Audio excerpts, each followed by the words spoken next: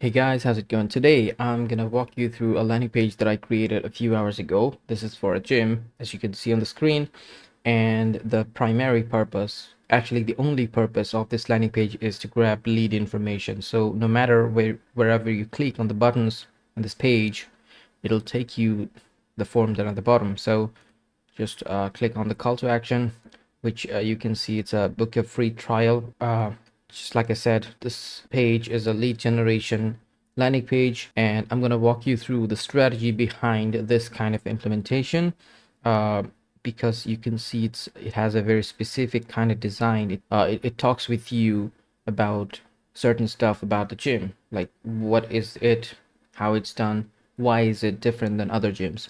And let me tell you, uh, we are gonna send paid traffic through Google and Facebook ads to this landing page and I've kept a few information hidden about the gym because it's client so I cannot give you client information. So I've kept the like uh, the logo uh, gym name address phone numbers those stuff hidden. Uh, uh, by the way so this page you can see we're gonna drive traffic and I think 90% of the traffic is gonna be browsing through mobile devices. So it's very important that this page is 100% mobile responsive as you can see it is. So uh, I'm gonna walk you through the strategy behind this page's layout right? So let me talk to you about the technical step first and then I'll walk you through the strategy behind it right? So it has a header and it has a few good elements like uh, the title with the value proposition which is this is a gym for non-gym people. So you have the value proposition headline here it has the gym name on top and it talks about a few stuff like you have no joining fees. Uh, the first two weeks are for free and satisfaction guaranteed. The stuff people want to know whenever they land on any kind of website or landing page.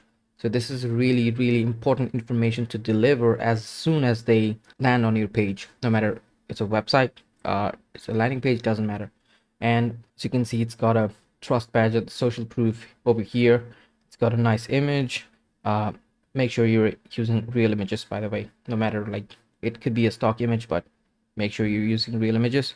And yeah it's got the call to action. So value proposition headline trust badge social proof bullet points and call to action. It's got everything. And this button is going to take you to the form down at the bottom uh, just like you saw on the at the very beginning. So the next stuff uh, the next section really has a testimonial of a client. I've, I've removed the testimonial. It's just a stock video for now. So it was a client testimonial right here. It's very very important that you have testimonials and it's best if you have at least one video testimonial which is exactly what we have done in this page. As you can see from couch to confidence hear what our members have to say. Uh, so it, it should be has to say and this this member actually talks about the gym uh, why it's best uh, how it helped the, that person. So that's what it this section is all about. Then we are talking about uh, how it works. So this is the process how this gym delivers their service or like this is this is global this is general.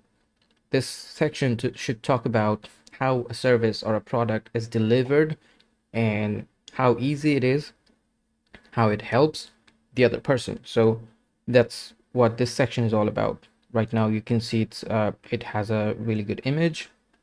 It could be anything. It could be text. It could be image. It could be video. Anything. So this section is about how it works really. So all it takes is 35 minutes to be a better you so this is their value proposition. So their gym uh the gym time lasts for only 35 minutes that's the unique value proposition of this gym.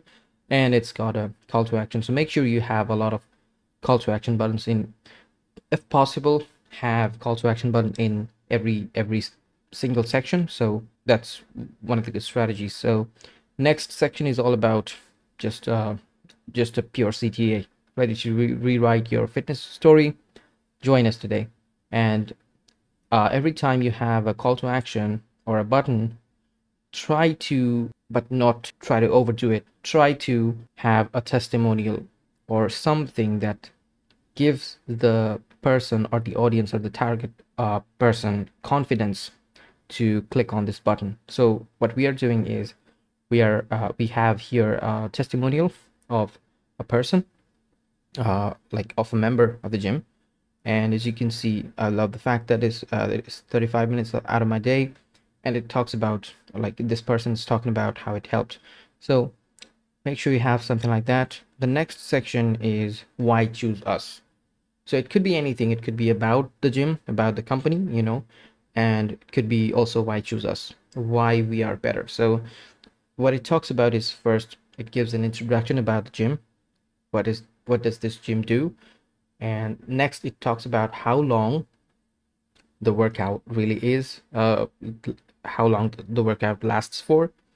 Next what is personalized training? So it talks about pretty much what why and how you know. That's covered in this part gym name a better way. So that's a good headline i guess.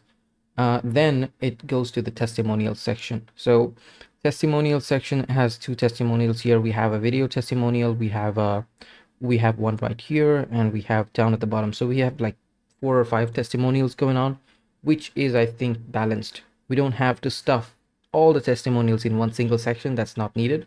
But if you have something like this like two testimonials with images that's the best thing trust me. And i've i've uh, put a small text like review, reviews were fetched from gym name uh, like the gym's google business profile so it gives them confidence that this these are not fake reviews. As you can see these have got like real images. This has to be like there has to be a, some kind of uh like you know assurance that we are not doing any any fake kind of thing in the landing page. And like i said it's got the testimonial uh sorry it's got the call to action. Then really really important make sure you have a frequently asked question. If possible ask your existing members what were your questions when you hadn't started with us? If if you can ask your members that's the best thing ever trust me.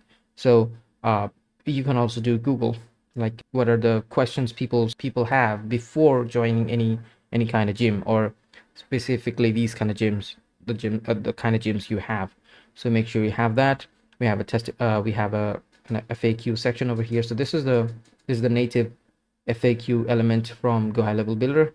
I'm not using anything external here. So the final section here is the final call to action, which has the but uh, which has the form where people can leave the details. So you have to be clear about the messaging here. So I'm saying want to try gym, this gym name, and complete the form below.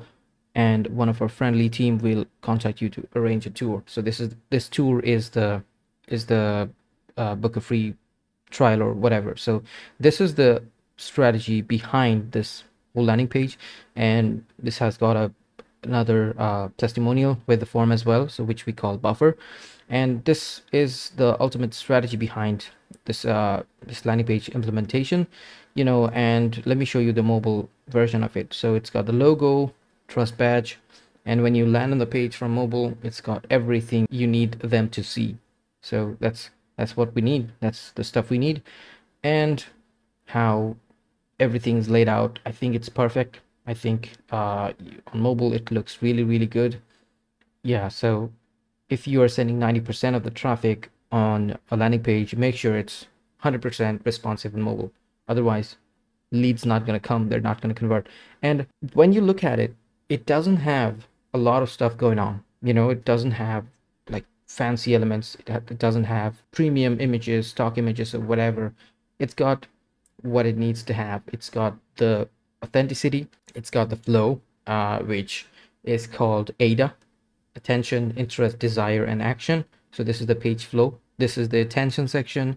This is the this is the interest section, and uh, followed by a call to action section, of course.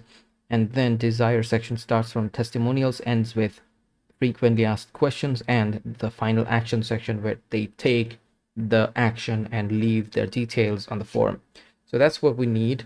That's the the layout i think we should go for no matter what kind of business it is.